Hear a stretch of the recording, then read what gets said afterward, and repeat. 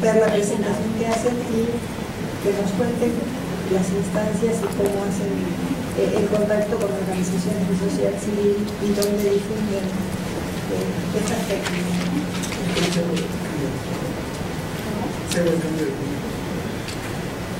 ¿Se puede hacer el cambio de computadora sin problema? De la cuestión técnica. Bueno, pues también estamos emocionados por, por asistir con, todos ustedes. Eh, el, hablar siempre sobre el tema de discapacidad, bueno, pues no es un tema sencillo como digamos nosotros venido viendo en la ponencia anterior. Es todo un reto porque eh, en, en, el lenguaje nosotros es donde podemos encontrar si una persona en realidad está inmersa en, estos temas de, inclusión o, simplemente a lo mejor este, las personas que padecen la discapacidad suelen ser muy, muy susceptibles. Si, si nos ha pasado este, en, en, algunos unas charlas que hemos dado nos han dicho, bueno, ¿cómo te atreves tú a hablar de discapacidad si no tienes la condición de discapacidad? Es una cuestión bastante dura y que bueno, pues justamente hemos eh, logrado entablar esa armonía entre las, digamos que la, la, la, la, forma de ver la vida de las personas que, que padecen discapacidad con nuestra propuesta de, de inclusión. Sí, aquí lo que Bien. nos instala. Hasta que está eh, la tecnología a tono, les voy a dejar entonces con Gerardo Leopaz Domínguez. ¿Tú trabajas dónde? Híjole, pues no. Me uno a la lista de desempleados. Ah, porque Eh, me decías que estabas en la Facultad de Ciencias. Sí, eh, ahí estoy terminando la carrera de física. Eh, ahorita estoy colaborando dentro del Comité Nacional Noche de las Estrellas, que bueno, ahorita les voy a platicar un poquito a qué se refiere. Y algunas colaboraciones también, bueno, hacemos colaboraciones con el Instituto de Astronomía de la UNED. Y también está con nosotros Josué Martín García Cruz y Andrés Méndez. Bueno, yo los dejo, muchísimas gracias y les voy a avisar cuando les falten cinco minutos.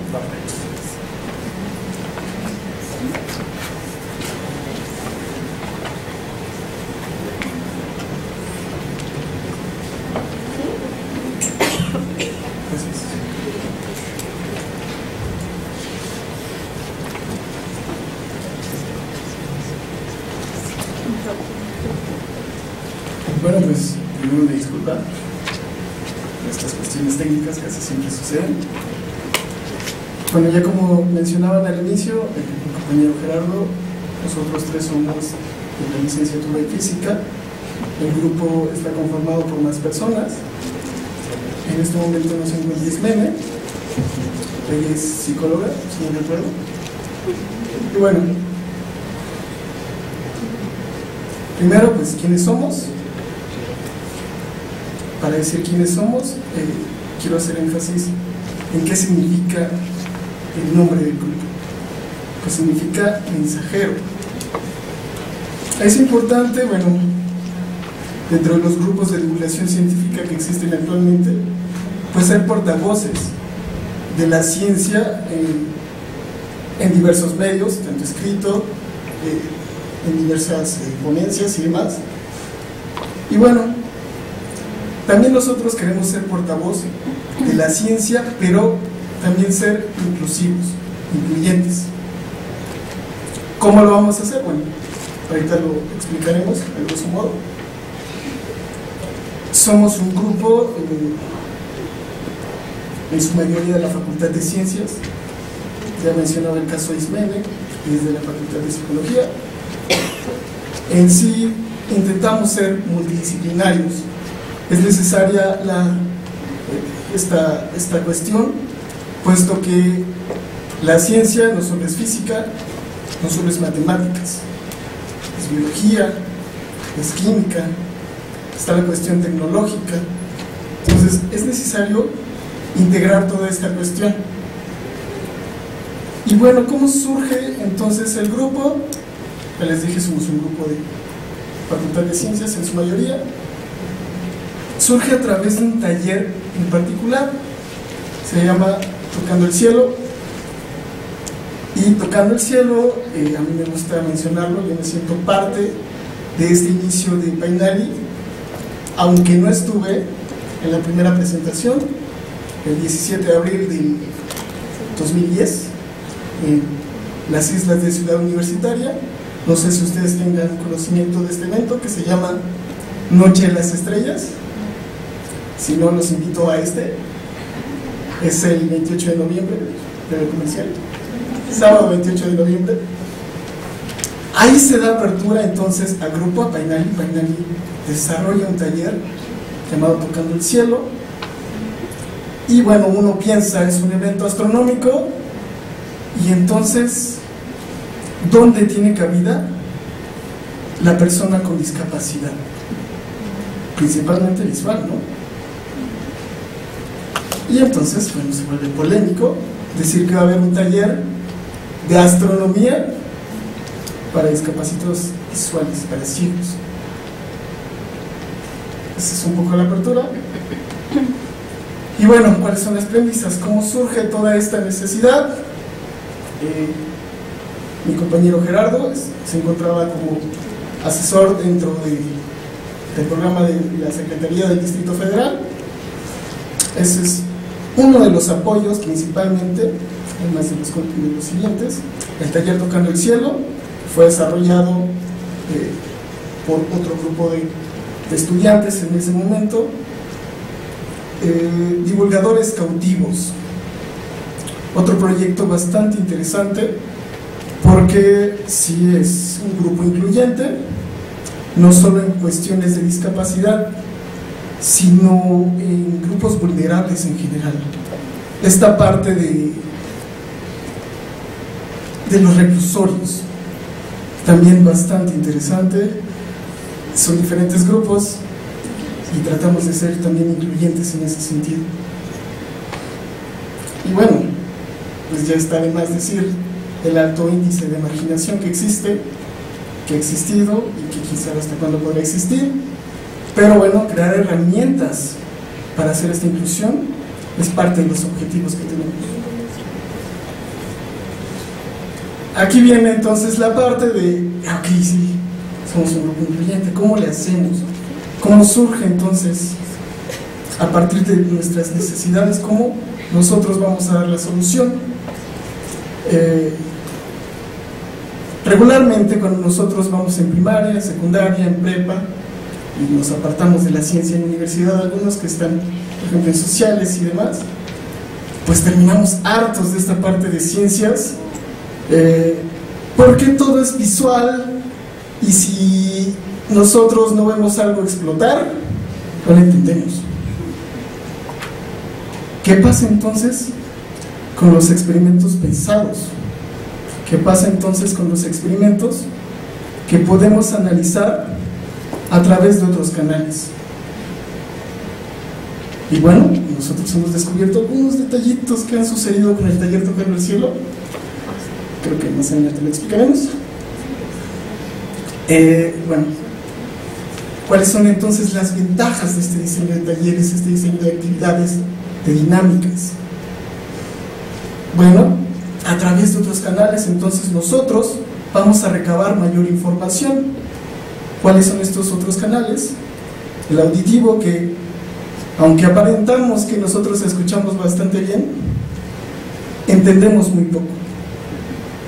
¿Por qué? Pasa una mosca, ya, me distraje. ¿Qué sucede entonces si yo me tapo los ojos y escucho a mi ponente?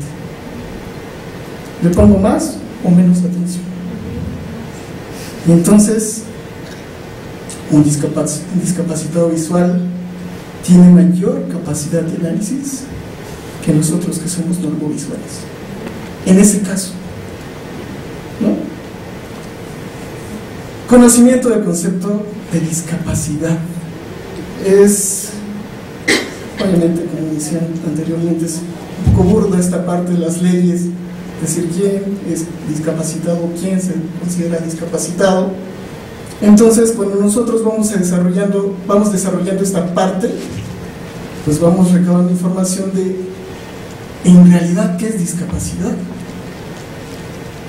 El caso que les mencionaba, que me tapo los ojos, yo soy discapacitado ante una persona ciega, porque él tiene una mayor capacidad de análisis. Y bueno, en sí, pues esto también nos trae un poco el hacer valer el derecho al acceso a la información en general.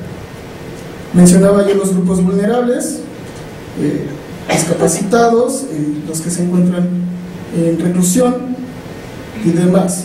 Todos estos también tienen derecho a acceso a la información, a la ciencia, a la tecnología en general. Y bueno, pues ya mencioné un poquito esta parte. Ahora bien, pues nosotros, eh, bueno, que mencionar que yo no estuve en parte en la elaboración de los cuadernillos de manera como idea original. Me he encargado a la difusión del taller Tocando el Cielo. Yo no estuve eh, en el diseño en sí del, del cuadernillo, que más adelante les mostraremos. Sin embargo, es una idea básica para entonces ir desarrollando más actividades, más dinámicas que sean integrales. El taller Tocando el Cielo eh, tiene una parte muy interesante donde uno puede estar dando el taller y puede tener personas con discapacidades diversas, puede tener personas sin discapacidades normales, por así decirlo, y entonces ahí te das cuenta como tallerista qué tan capaz eres de comunicar la ciencia. Entra esta parte de a qué se enfrenta uno cuando está elaborando un taller. Si yo pienso eh, en el taller Tocando el Cielo, no es necesario hacer esta exclusión para personas con, que no tienen discapacidad, sino también a ellos los puedo mezclar y de repente tengo un grupo homogéneo en cuanto a su capacidad por poner atención. Y bueno, todas estas son premisas para lo que posteriormente Painali como grupo comenzó a hacer, que son estas dos partes, por así decirlo, los muros de nuestro grupo, dos proyectos importantes, tocando el cielo que ya tanto he repetido, y bueno, divulgadores cautivos que mi compañero Gerardo explicará. Bien, pues eh, como les comento, eh, bueno, aquí Martín, eh, soy el fundador de, de, esta idea de, de, hacer talleres accesibles para personas con discapacidad. Es muy difícil el enfrentarte a algo que pues inicialmente no conocía el tema, no conocía cómo tratarlos, cómo eh, dirigirme a ellos. Sin embargo, eh, dado a, un programa que hace, hace años, 2009, se formó en la Ciudad de México por parte de la Secretaría de Educación, se llama Centros de Transformación Educativa. Estos centros de, transformación educativa pretendían eh, llevar educación, llevar educación a las zonas con alta marginación del Distrito Federal. Ahí, bueno, colaboré como eh, asesor, asesor este, educativo, y parte de mis actividades era acompañar a las personas con discapacidad visual, a las personas eh, sordas, a que fueran a impartir talleres, actividades. Y en el regreso me decían, oye, ¿y, estudias física? No, pues sí. Órale, padre. ¿Y, cómo son los planetas? No, pues son así. Oye, ¿y cómo son las estrellas? En realidad son así, con, con picos como las conozco, tienen cinco picos, ¿verdad? no, no tienen cinco picos, ¿no? Además, incluso ni deberían tener picos. Oye, pero entonces, ¿por qué cuando yo voy a la tiendita me dicen que venden unos chicles en forma de estrella? Oye, pues sí. Incluso una anécdota de, un compañero algo tan básico como conocer a Mickey Mouse. No recuerdo el chiste, yo creo que ha sido pésimo, pero estábamos riéndonos acerca de Mickey Mouse. Y mi amigo, eh, Esteban, oye, ¿por qué no te reíste? Mickey Mouse, las orejotas, es que no conozco a Mickey Mouse. Yo, ¿cómo? ¿Cómo que no conoce a Mickey Mouse? No. Bueno, pues fuimos ahí a, a- la habitación de, de un niño, tenía efectivamente un Mickey Mouse, y se empezó a ver. Dije, wow, ya conozco a Mickey Mouse. Esa parte de, de- de- experiencias, y bueno, aquí también lo hablaba el maestro, de sensibilizar, de tener esa buena apertura hacia este sector, bueno, te dice, bueno, te, te- te- te- genera interrogantes. Bueno, yo desde formación, ¿qué es lo que puedo hacer a favor de este sector? De ahí surge eh, el, taller Tocando el Cielo, que en realidad, pues eh, les, soy honesto, lo de Painali, pues a mí me la colocaron, así de que vas a ir a la noche de las estrellas, te vas a llamar así y vas a dar tu taller. Y yo es que yo nomás quiero hacer una herramienta para que las personas con discapacidad visual puedan reconocer el tacto, mediante el tacto, las constelaciones, las estrellas. Muchos de nosotros no reconocemos todas esas constelaciones. Y algo muy curioso que hemos aprendido es que una vez que ellos aprendan a hacer este reconocimiento con el tacto, cuando las observan visualmente, ¿qué creen? Ya están aquí, ya están en su cabeza. La, la, mm, la estrategia que empleamos es que sea multisensorial. Nosotros podemos adquirir un conocimiento no únicamente por el canal de la, de la vista, sino tenemos el olfato, el gusto, el tacto y mediante la información que logremos captar con los otros sentidos, lograr algo concreto como pues esto es una botella y tiene agua. ¿Cómo puedo darme cuenta que tiene agua si no la puedo ver? Por el sonido, por el tacto. Incluso, ¿cómo podemos, cómo podemos nosotros identificar el color negro y el color blanco si no tenemos el canal de comunicación que es? ¿Cómo podemos hacer eso? Pues mediante la temperatura. ¿Qué sabemos de, de los cuerpos oscuros? captan el calor. Captan el calor, no lo tienen. Y con los eh, cuerpos blancos que lo reflejan. Entonces, por lo tanto, un cuerpo eh, oscuro va a ser mayor. Y, y- muchas, muchas personas dicen, ah, pues entonces con razón, cuando traigo mi suéter negro, pues ya mediodía estoy que, no soporto el calor. ¿Sí? Bueno, pues este es- e- e- estas eh, cuestiones, eh, a lo mejor platicaditas, bueno, nosotros lo llevamos a cabo en los talleres. En realidad, a los niños les sorprende porque no les habían mostrado esa parte de un experimento. Como bien lo decía Martín, ahorita los niños, si no explota, si no huele feo, si no hace, ríe, para y demás, no es divertido. Sin embargo, más adelante les voy a comentar que eh, nuestra dinámica como grupo de divulgación es que todos nuestros talleres que realizamos de ciencia, de divulgación de la ciencia, sean totalmente incluyentes. ¿sí?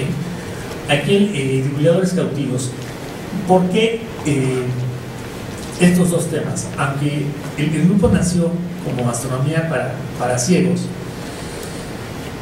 que en realidad el, término sí es demasiado, ambicioso. Pero en realidad lo que nosotros queremos acercar no es únicamente la astronomía, sino la ciencia en general, las matemáticas, la física, incluso ustedes, eh, no sé si conozcan el lenguaje braille, que son unos puntitos. ¿Alguna vez, bueno, eh, a lo mejor aquí me faltó la, la cuestión eh, eh, visual, la A, ¿cómo la escribimos? Se compone por un cuadratín y son seis puntitos. Depende de cuál yo pinche, va a ser letra. ¿Sí? ¿Alguno de, alguno de ustedes ha pensado, se ha puesto a revisar cómo se escribe la suma A más B menos Z.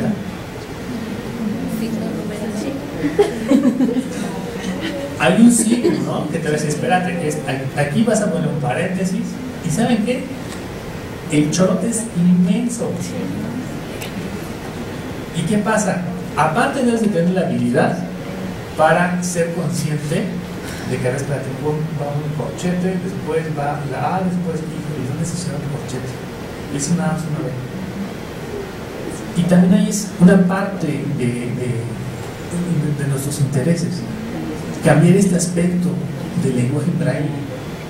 El lenguaje en braille me parece que en su momento dio una utilidad insospechada. Pero ahorita me parece que para las necesidades de académicas se necesita reestructurar. Porque el lenguaje, para una persona con discapacidad visual que pretende estudiar matemáticas, no. Imposible. Y no por sus capacidades, sino por el material que no hay, por el lenguaje que hay. Es más, les aseguro que ni siquiera hay, se ha, inventado el lenguaje para algunos símbolos matemáticos, para un tensor, para una matriz. Y ojalá que ni lo inventen como tradicionalmente lo conocemos, porque si no, yo creo que para, para decir una matriz va a ser toda una hoja. Han- eh, hemos visto el, lenguaje, del- el libro del Principito, incluso lo venden en, en el metro. Está pequeñito, muy agradable, pero en braille, ¿cómo es? Es casi, casi una enciclopedia. Si a eso le, le agregamos eh, toda la, la simbología de las matemáticas, pues es muy complicado. ¿sí? Eh, e- estas actividades de tocando el cielo, a nosotros nos interesa que la gente cono- conozca la ciencia. A lo mejor aquí nos van a linchar porque así, bueno, pues estos somos humanistas, somos sociales. Eh, les voy a contar lo que ayer me sucedió. Yo ayer bien feliz. Oigan, entonces que voy a, a un seminario. Oye, qué padre. Y es de partículas elementales, es de relatividad. No. Oye, y va a ser en el Instituto de Física, en el CICADET, en nucleares. No, pues tampoco. Entonces, ¿dónde va a ser? En la Casa de las Humanidades. ¿A poco ahí se da, se da física, se da ciencia? Y pues no. Sí. Eh, me da gusto a mí el ver que más gente de otras áreas se interese por este tema de, de la inclusión de las personas con discapacidad. Generalmente es un tema que se lo dejamos a los abogados, a los sociólogos y a este. Pero no, nosotros partimos del hecho de la regulación científica. Nos interesa tener un, público, tener una sociedad que sea, que sea culta, no necesariamente que estudie física, porque si sí no hay chamba para los físicos, pues en la agencia hacemos más. Pues. Pero no, que conozcan, que conozcan que, la ciencia es, es amena, que conozcan la ciencia básica, que, que sepan que aquí tenemos a, a científicos del nivel, wow, de, de, las grandes ligas de la ciencia. Eh, divulgadores cautivos. Esta misma estructura de, de, talleres accesibles la llevamos a los reclusorios. Afortunadamente tengo el gusto de decir que conozco todos los reclusorios y me dejaron entrar. entrar y salir. Sí, sí, sí. Eh, desde wow, todos. Surgió como una, una aventura de caray, cuando era más joven, decir, bueno, pues vamos y les enseñamos. Pero cuando te, te ponen así como, como ahorita, pero ante un grupo de 90 personas, dicen, pues vas, diles que estudian ciencia. Dices, algo, algo se me subió por acá. Dije, caray, ¿y cómo les digo, no? Eh, algo, algo que logré con una actividad muy sencillita fue que todo el público me empezara a decir hola, a decirle a un, pequeño trozo de papel. Después me reí de ellos, dije, ay, se ven bien chistosos ustedes. Ustedes que son los malos, que son los que hacen ejercicio, para verse, eh, para sobrevivir aquí, ustedes están haciendo esto. Nos dirigimos ahí también al dormitorio 9, que es el que está, eh, que resguarda a las personas con discapacidad. Eh, una de, mis primeras actividades que llevé fue origami, eh, ver simetría, vértices, triángulos demás. Y yo bien feliz repartiendo mi material y me encuentro con una, con una persona, un chavo, 23 años, bastante rudo, y me dice, ¿sabes qué barrio?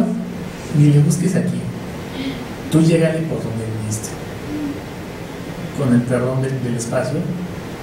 Estas chingaderas a mí me tienen hasta el gorro. Sí. Dije, Bueno, si no la ves, pues no. no. Y yo así de que, bueno, llego con otra persona me dice, no te preocupes, yo sí voy a trabajar. Dame los papelitos. Y yo así, este, pónmelos en mi boca porque no tengo manos. Híjole. Yo me quedé así de que trágame tierra, porque no había considerado que podíamos tener este tipo de movimiento. Y yo, híjole, mejor hacemos otra cosa. No, no, no, no, tú déjame. Y yo te cagué. Los, les, les comento, estamos un, un espacio allí, hasta el frente. Es que no se puede, es bien difícil y demás. Llega este amigo con sortaero armado. No, pues no le voy a decir que está bien armado, pero está, tiene la forma en la boca. Así, los otros quedan bien. Sí, lo voy a intentar. ¿De qué hablamos? Hablamos de que aquí eh, nosotros dar estas actividades de ciencia a un grupo que tradicionalmente es la escoria de la sociedad, nos permite a nosotros el también fomentar la, la ciencia, pero de una manera inversa. En, en reclusorio norte, en reclusorio sur, los días eh, miércoles, eh, viernes y domingo son los días de visita. Y llegaba gente como no tiene idea. ¿Y cuál era la, la idea? Pues este, llegan los familiares, le cuentan al interno que tu hijo ya se casó, que tiene bla, bla. Pero ahora era de una manera de aquí hacia allá. ¿Sabes qué? Pues vinieron, vinieron unos chavos y nos enseñaron a hacer un cohete con una botella de, de.